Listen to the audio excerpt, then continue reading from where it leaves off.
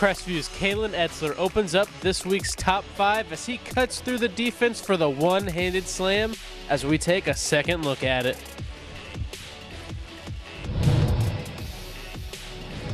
Up next, we head to Wauseon, but it's Evergreen's Evan Lumbreezer beating the buzzer as he gets the friendly roll on the three. We go back to the United Way rivalry, and it's Etzler again.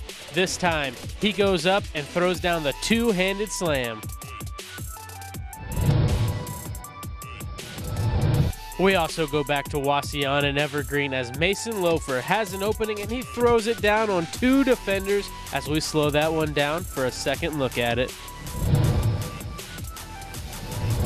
Our top play this week comes from overseas as the LCC and Findlay grad Martise Kimbro hits the game winning three for CB Marbella in Spain. And that will be your Layfield Welding Top 5.